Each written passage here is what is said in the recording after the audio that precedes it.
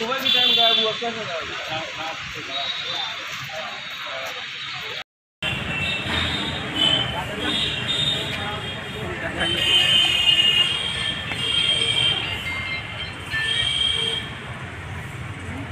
मैं कहाँ के निवासी हैं आप? मैं ललितपुर आज़ादपुरा सेकंड का निवासी हूँ। मेरा नाम जयराम प्रजापति है। क्या हो गया? आ- आज आप लोग मतलब कोतवाली में आए क्या है पूरा मामला? मेरी बच्ची की शादी थी। बारात आई। बारात का हमने स्वागत किया। मतलब जो नेक दस्तूर होते हैं, प्रवेश के लिए। पहले लगन का प्रोग्राम किया, फिर टीका का प्रोग्राम किया। इसके बाद बारात अंदर प्रवेश हो गई।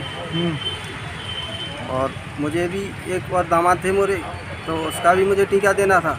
तो मैंने उसका भी टीका दिया। इसके बाद टीका के बाद जो चौक वगैरह जो लौटने का काम किया जाता, वो किया। तब तक ऊपर से आवाज़ आई कि कोई बैग लेके भाग गया बैग लेके भाग गया।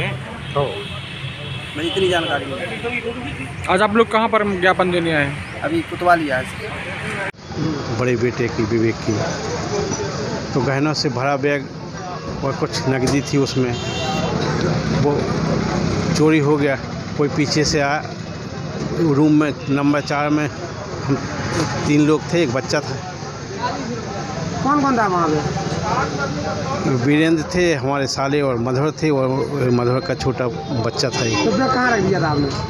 वो तखत है ना जो वहाँ उसके ऊपर दोनों बैग रखे थे इनने कुछ पैसे दिए ये टीका के हैं ये लगन के हैं ये तो हम वो रख दिए और अपने एक एक फ़ोन करने लगे। ये लोग भी और दौड़ के कोई पीछे से आया और उठा के भागा ये बोले बैग बैग लेके जा रहा है वो बच्चा बोला ये ये लोग भागे।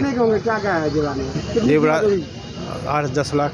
से कम ना होते क्या क्या क्या था पूरा ही था पायल थी सिर्फ़ चांदी की और कमरबंद सोने का चूड़ी सोने की गले के दो हार बीजासेन मंगलसूत्र चार ये गले के और बेंदी और म- वो क्या बोलते नथनी। कितना तोला होगा सोना लगभग?